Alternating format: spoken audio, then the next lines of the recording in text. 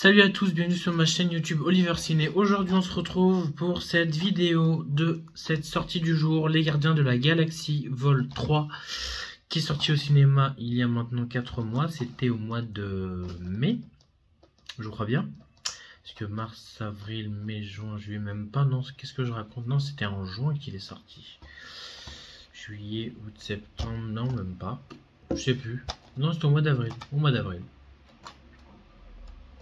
au mois d'avril, je crois bien, ou au mois de mai, je sais plus. En tout cas, euh, que j'avais vu deux fois, je l'ai vu deux fois au cinéma. Euh, je l'ai très très bien apprécié. Donc je trouve que c'est l'un des meilleurs, comme beaucoup de gens l'ont apprécié. Le meilleur bah, par rapport au 1 et au 2. Donc euh, en vrai, si je devais donner l'ordre de mes préférences, ça serait vraiment le 3, ensuite le 1 et ensuite le 2. Ce serait le 3, 1, 2. Dans l'ordre de, mes de préférence de cette trilogie. Et euh, forcément, c'est une belle trilogie, sincèrement. Euh, du coup, Drax, qui ne jouera plus du tout. Par Dave Bautista, du coup, qui a forcément euh, été son dernier, sa dernière apparition dans le film. Bon, Root, Rocket, bon, euh, Chris Pratt, forcément, Star-Lord, il pourra forcément revenir. Euh, je ne pense pas qu'il va forcément euh, en arrêter là. Donc je pense qu'il va revenir. Après Nebula, je pense qu'elle pourrait continuer aussi. Gamora, je crois que c'est sa dernière apparition aussi.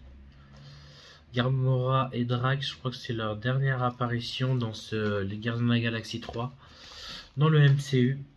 Ces deux-là euh, ne vont plus jamais euh, normalement euh, refaire un film dans le MCU. Donc c'était leur dernière apparition. Mantis, Mantis aussi, je crois.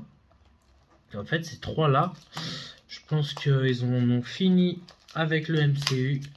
D'où forcément elle part. Elle dit au revoir à tout le monde, forcément à la fin du film. Mais en tout cas, voilà. Donc il pourrait y avoir forcément Nebula Rocket, Groot et Star-Lord ensemble avec ce fameux chien et puis euh, l'autre pépère à la crête déballé. Donc euh, voilà. En tout cas, pour ces Gardiens de la Galaxie 3, qui est vraiment euh, une très belle fin. Vraiment, qui raconte vraiment bien l'histoire de Rocket et son passé. Avec un méchant, bon, un peu, un peu triste. J'aurais préféré un méchant un peu plus un peu plus de dynamisme dedans, mais voilà, ça a fait le taf pour ce dernier film. Les disques, magnifiques. En Blu-ray, on voit Groot en très beau plan et Rocket sur le disque en 4K, vraiment magnifique. Je trouve les disques vraiment fabuleux, comme dans la version Steelbooks. Donc, euh, j'ai pas la version Steelbooks parce que je l'ai pas précommandé et que c'était trop tard et c'était euh, indisponible et épuisé en ligne à la FNAC, l'édition FNAC. Euh, il y a, l'édition Steelbooks Leclerc, mais qui est pas en 4K, qui est en Blu-ray. Donc il y a le Blu-ray en Steelbooks, qui est exactement le même que le 4K, en Leclerc, mais qui est indisponible aussi. Donc euh, vu que c'était indisponible, euh, j'ai pas cherché à comprendre, j'ai pris celui-ci à Leclerc qui est moins cher parce que celui-ci du coup version standard en 4K c'est 29,99€ à Leclerc enfin à la Fnac Amazon aussi apparemment et Cultura aussi probablement. Euh, en tout cas, 24,99 à Leclerc.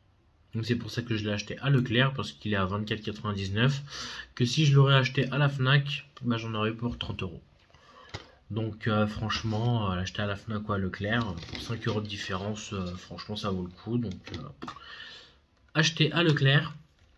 Donc en caractéristiques techniques, c'est un vrai Master 4K avec du HDR, HDR 10 compris, il n'y a pas de HDR 10 Plus dedans, ni de Dolby Vision dedans. C'est que du HDR. Ah, un chien qui aboie. Euh, du coup, je disais que c'est un vrai Master 4K avec du HDR seulement. Pas de Dolby Vision dedans. Pour ce qui est de la sonorité, on est sur du Dolby Digital Plus 7 points en français, euh, en allemand, en italien, et du Dolby Atmos 7.4 en anglais. Et aussi euh, en anglais, il y a du DTS sur 5 points en espagnol, Dolby Digital 2.0 en anglais, audio description. Et puis voilà, ça c'est pour la version 4K. Pour la version Blu-ray, c'est pareil, Dolby Digital Plus 7 points en français et en allemand. Il n'y a pas l'italien, l'italien en Dolby Digital Plus, il est que en 4K. Dans le Blu-ray, c'est qu'en français et en allemand. Et par contre, en anglais, c'est du DTS HD 7 points. Voilà, donc c'est du DTS HD en anglais 7 points en Blu-ray et en Atmos en 4K. Donc voilà, donc un très joli boîtier, très sympathique, le plus émouvant de tous. Donc euh, franchement magnifique.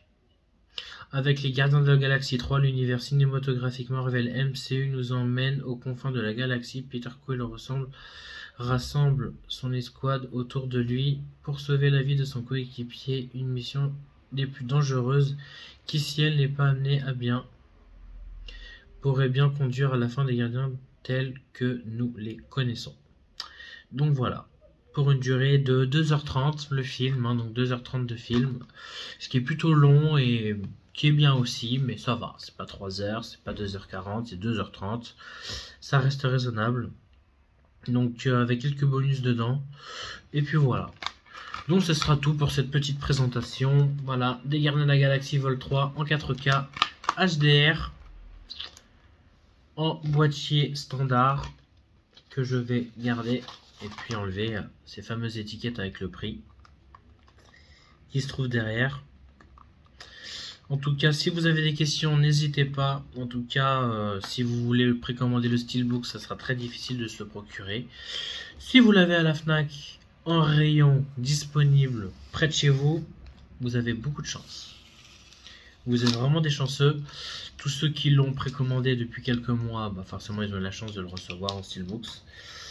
Mais sinon, euh, pour ceux qui le veulent en Steelbook, ce sera difficile à trouver en ce moment. Donc euh, c'est tout ce que je pourrais vous dire. En tout cas, prenez-le en version standard. Il est très beau aussi visuellement. Déjà, j'ai préféré le visuel. Je préfère le visuel de celui-ci par rapport au Steelbooks.